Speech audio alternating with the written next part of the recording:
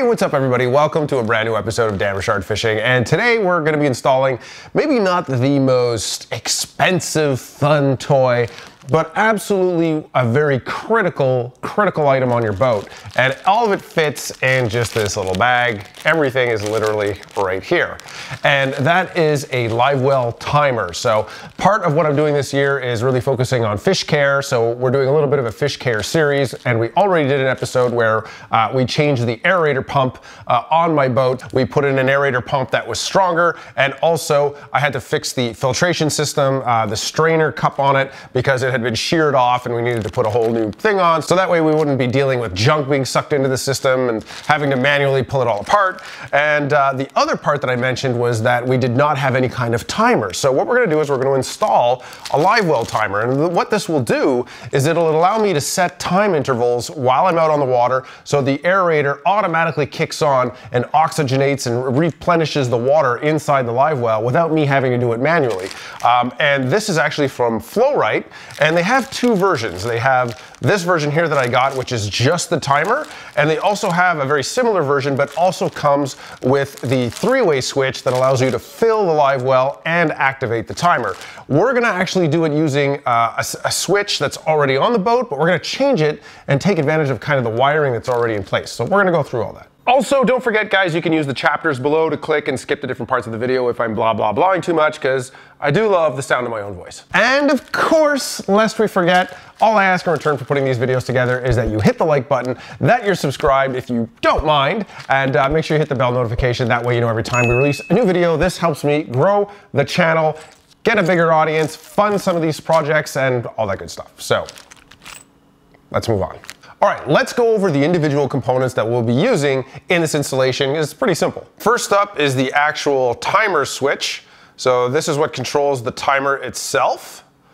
All right, simple little circuit board and we've got the electrical connections right here. The faceplate, so this is the faceplate here and the way it's designed is this protects it so you can see it's got the nice cover right there and on the back is some 3M tape. So the 3M tape is meant to glue against your console. Uh, you would you know stick this to your console, stick it onto a fiberglass area, wherever. It's a little complicated for me because I've got carpet in the boat and all around the console is carpeted and the plastic of the console, I have nowhere to put this. So I'm gonna explain what I did for this. I've, I've already done it off camera. It's already ready. I did it like a month ago so that it would be ready. Our little control knob, of course, very important, little control knob we have a three-way switch. This is going to replace the rocker switch that's already in the boat that is a two-position rocker switch. So this is a Gamma waterproof three-way rocker switch and it's got built-in LEDs. So we've got the amber and the red. Most of these rocker switches have standardized casings, so they all fit in the same hole. You just double check the measure, but they are all sort of a standard, more or less, just double check. But this will be a direct swap right in the hole of the old one. And last but not least, of course, we have the instructions how to install the whole thing. So you can see the instructions cover both versions, either the timer or the timer with the switch integrated. And Flow-Rite is a very reputable, very well-known company. They sell all kinds of live well components. You can go check out their site. I'll put a link in the description below. And of course, I'll have a link in the description below where you can buy all this. Um, and it's also made in the USA. So very confident that this is a high quality product and their customer support is also fantastic. You give them a call, they answer all your questions. And if you watch any of my videos, you know that customer service is very important to me. I do not, I won't touch a company if their customer support sucks. So Let's get this thing installed. All right, guys, so you've seen my control panel before on the boat. This is uh, on the console, and this is the live well fill right here. So unfortunately, you can hear it going. This is only a one-way switch, so it's either on or off. There's no third switch. Now this guy here, this switch here has a third position. This is what controls the lights on the boat. So this will control just the port lights and charges my USB up here. However, if I flick it upwards, it turns on the dash lights and some of the courtesy lights. So I tried to see if I could find another one of these switches and I just could not find it because I wanted the switches to match, but it was just impossible. I couldn't find it. This is an older boat. These switches are made specifically for Princecraft and I called uh, Princecraft Corporate and a bunch of their authorized dealerships, and nobody has this switch. So I have no choice. I had to get something different. So I got the smallest rocker switch I could find. It doesn't exactly match, but I still think it'll look nice. And it is the exact same size as this opening.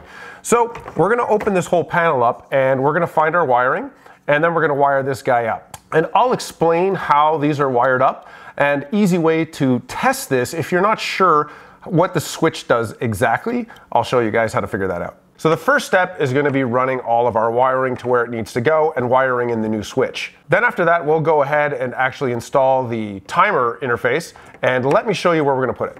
So when it came time to installing this little interface piece here, I had to find a flat surface that I could install it and there just was not any available. This is too curved. Over here it's too big, like this doesn't fit. It doesn't fit here even if I hadn't had the USB, it might have fit there, but I just don't have anywhere on the plastic. And I didn't want to put it on the side of the boat over here because I didn't want this thing to get smacked because I do actually sometimes brush my leg up against here. There's not that much room. So here's what I did. So right near my switches down below over here, I actually made a custom little aluminum piece that I riveted to the boat. So that's the battle plan for the timer control. Okay guys, so this is a Gamma Electronics 23E3BB. So this is a waterproof three-way switch. And the way it works is basically these are your pos this is your positive, this would be your negative, and then you're going to go ahead and wire up whatever your out is. So if you want this to go to the live well pump, it'll go out to the live well pump. If you want this to go out to the timer, that'll go to the timer. So this would be all your positives. This would be all your grounds. So you just got to make sure that you line these up. So let me show you how to test and figure out how a switch works. So what I've done is right here, I've just taped the ground probe onto the ground of the battery just because it's, it's harder to do it's hard to do just freehand and then we know that power and ground need to go to the center okay so the way to test where power goes you simply have to touch the middle prong to the positive of the battery and then you'll see if I touch the prong I've got power but if I touch anywhere else I've got nothing so you can see I've got nothing going on now I'll turn the switch on to one to that position. Go ahead and touch, and then you'll see none of these prongs do anything. Nothing does there. Here's the middle prong. And, but if I touch this one, this one is now active. So that means this prong becomes live when the switch is in this position. And you'll see on the other side, nothing else is happening. Then if I go ahead and switch it downwards like that, this prong is no longer active, and this one is. So that's how we can tell what becomes active when the switch is on. Just very simple test if you're not sure with your battery. So that means all of these are ground.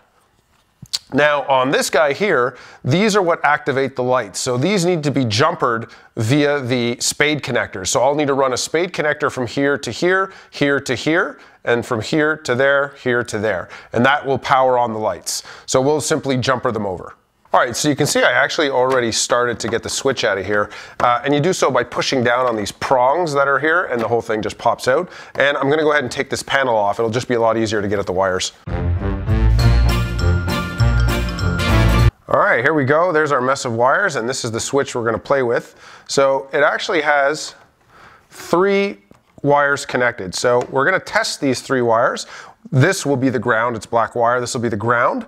And one of these will be live and the other one will be the switched power. So it's pretty easy to find out, we'll just touch and make a contact. But there's also fuses built in, that's what these things here are. So we can just trace the wire, whichever wire comes from this lower fuse to the switch we know is live.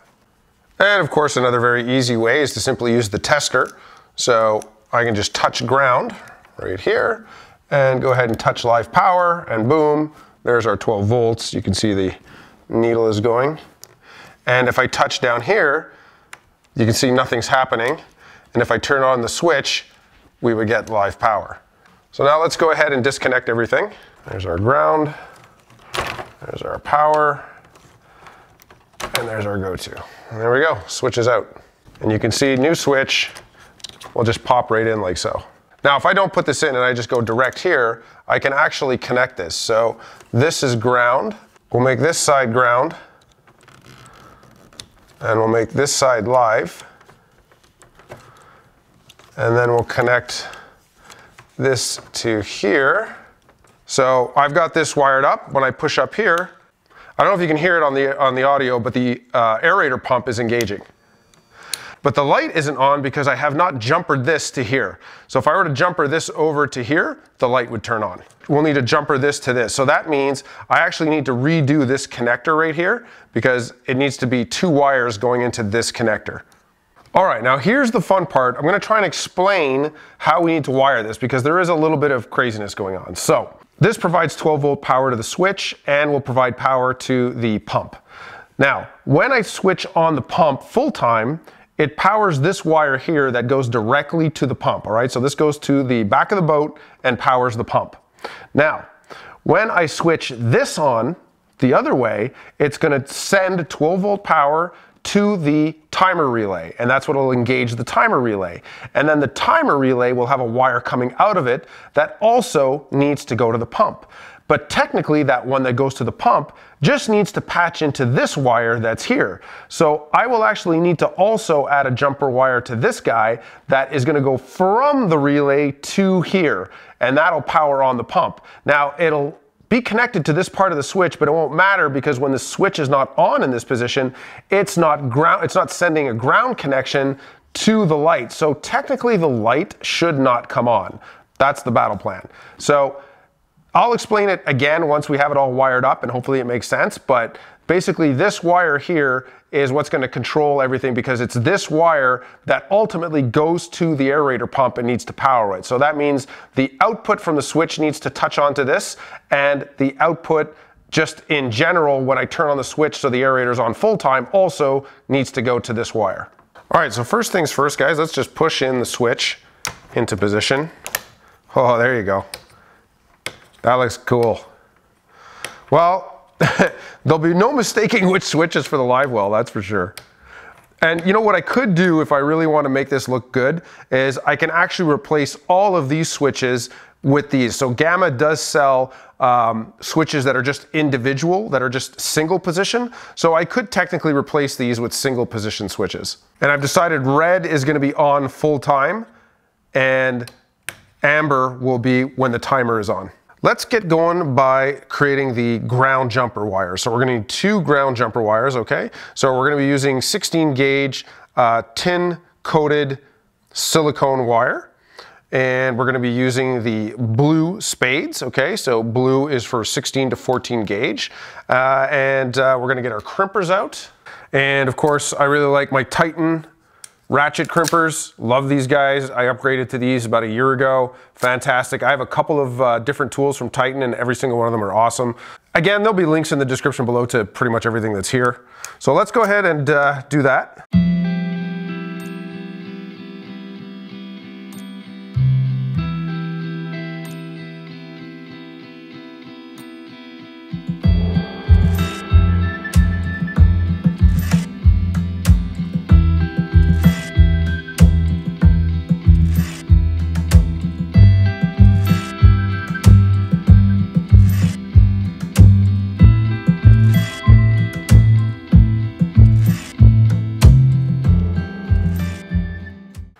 Right, guys, there you go. That one's done. So we've got our two jumper wires. So let's get those connected.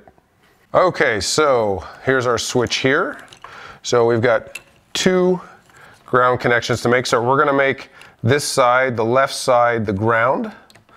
So we're gonna go ahead and connect. Actually, let's do the bottom first, probably the most logical. So there's one, two, that's jumpered. And then we need to jumper this guy to this guy. And then jumper in the center is the actual ground. There we go. With that done now, we're gonna go ahead and create the positive jumpers. Now, it's a little bit more complicated because this guy here needs three wires going into the spade connector. So the original brown with orange stripe. We're gonna need a positive one that goes to this guy, the jumper for the light. And then we're gonna need one that goes back to the actual relay switch. Then on the lower part, you need one that has a wire going to the relay switch as well, and a small jumper that goes to the very, very bottom prong. So uh, we'll have to make some custom wires here. So let's start with the bottom one, uh, and we'll go from there. Here you go guys. So this is the cable that I've made for the lower section. So you can see we've got the dual jumper right here. So it's jumpered. That'll go for the light. And this is what's gonna provide power to the timer relay. All right, so we're gonna disconnect our live power just to make this easier to get at. All right, here we go. So, uh, let's see. So we're gonna connect our jumper to the light, then our power that goes to the relay. So that's what's gonna power the relay. I fish the wire down here. And then our live power goes here. So now, when I switch that on, you can see the amber light comes on. And this wire here will have power going to it. And then we just need to do our super jumper to turn this guy on. So let's do that part next. All right, so next up, I'm gonna cut this off. So what I'm gonna do is I'm gonna cut this guy, because this is what goes to the actual pump, okay? I'm gonna cut this off. I'm gonna create a jumper that goes to the pump, but also to the light. And then on the light, I'm gonna create a jumper that then has the wire that would be power from the relay to here. So by doing that, I don't have three, I'm not trying to force three wires into a single spade crimp because you're not really supposed to do that. The most you can put is two. Uh, so that way I'll have two here and two here and that will be optimized. That way I'm not trying to do anything funky. All right, let's cut this guy off. Let's get started.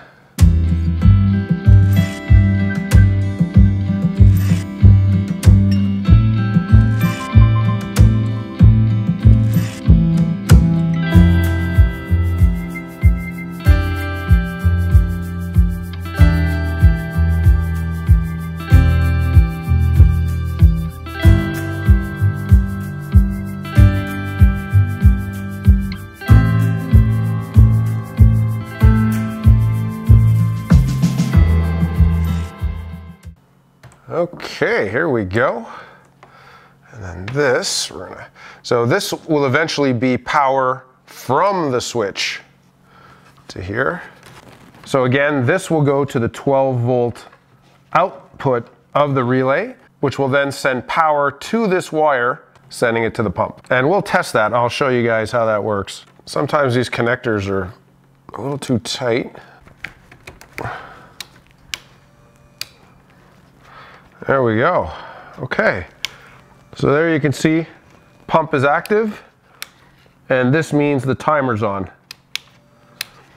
Of course, we need to wire up the relay, but we're good. So there you go, pump's on, you can hear it going. And that'll be powering the relay. All right, so far so good. All right, guys, I just realized we forgot one little thing, and that is we've got our power wires, but we have no ground for the switch. So that means we actually need to jumper in a ground. So the ground connection that we have on this side that is used when the pump is on, we need to go ahead and jumper in a ground wire that also goes to the relay switch. Uh, so yeah, let's go ahead. We'll need to pop this out, uh, redo it, and go ahead and add the ground wire. All right, guys, here we go. We've got this fixed. So this is what goes to the light. This is what provides the ground. And we now have a nice long cable that will go to the relay switch. And uh, yeah, and then we'll reconnect everything. So this goes on the bottom section. So we start with light, going to the switch, main ground, and then the ground for the pump when it's always on. So let's reconnect everything in here. And yeah, it can be a little tough to get stuff in here, but that's okay. By the way, sometimes you might notice that the prongs are really, really tight. And I noticed on my yellows, the prongs are super tight. So I just use a little flathead to open them up a little bit. And then we can put our jumper back in here and there. Okay. There we go. Perfect. So now when this is switched on, we now have power and ground going to the relay. Beauty. Okay, now we're good. I'll just go ahead and pass our wire through. Now we're ready to install the timer relay. All right, guys, we're getting there. We're almost done, but uh, just really quick while we're working on this, if you're, you know, you're wondering about how I use these crimps and the right sizes and shrink wrap and tools and all that stuff, I've actually done several videos uh, on how to do this kind of wiring. So I'm not really going too into detail in this video. So of course, if you want to see that, I'll put links in the description below to older videos that you can go and check out that goes a little bit more in detail about wiring, okay?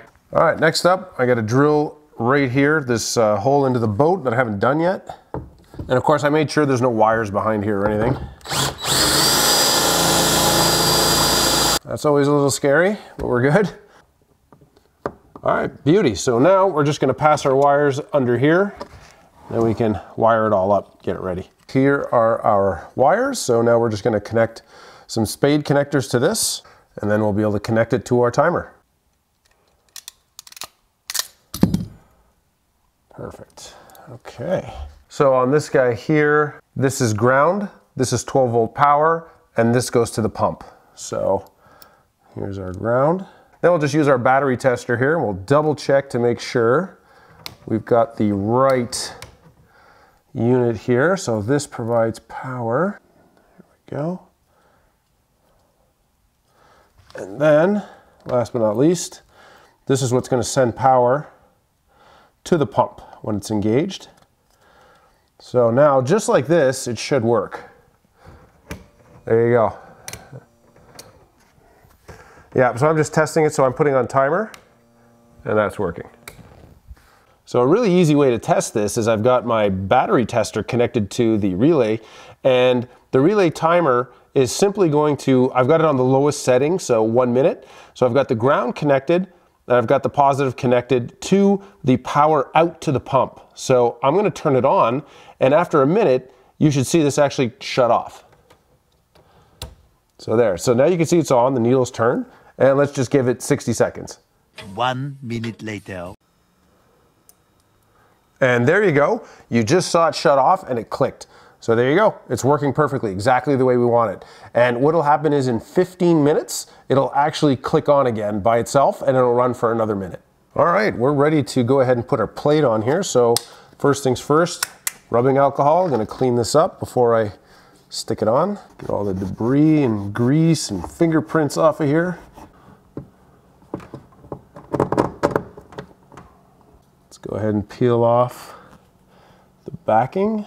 Just making sure I don't put it on upside down, which would not be ideal. There we go. All right, let me just, sorry guys, it might be hard to see it. I gotta get my hands in here and make sure everything is stuck on okay. There's a little bit of extra metal sticking out here, but that's no big deal. You can't even really, can't even see it. And then we can peel this off. And voila.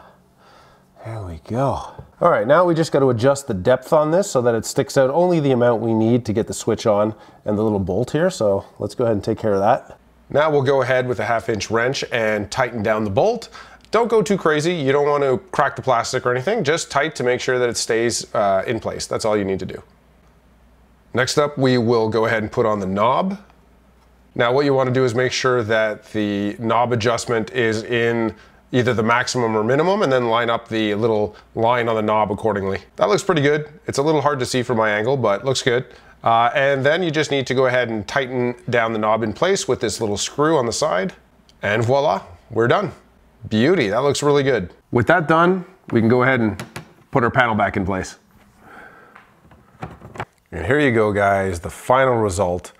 Our new three-way switch installed and it's connected to the timer, which now has a relay connected to the aerator pump so we can keep those fish alive and healthy throughout the entire fishing day.